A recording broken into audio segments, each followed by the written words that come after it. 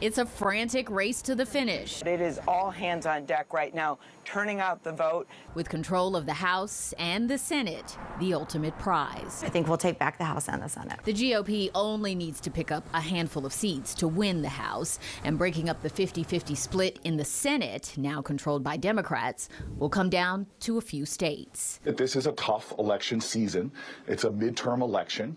Uh, but I still see a pathway for us to maintain control of the Senate. What happens in Pennsylvania could set the tone. Three presidents traveled there this weekend, with Biden and Obama rallying behind the Democrat, Lieutenant Governor John Fetterman, and Trump stumping for the Republican, Dr. Mehmet Oz. On the issues, Democrats are talking about abortion rights, protecting Social Security, and threats to democracy.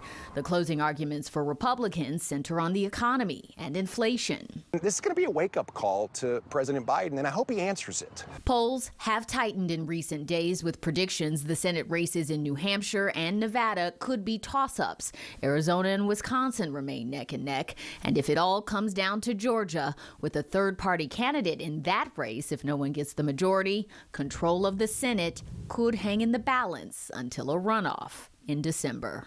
Gaynor Hall, WGN News.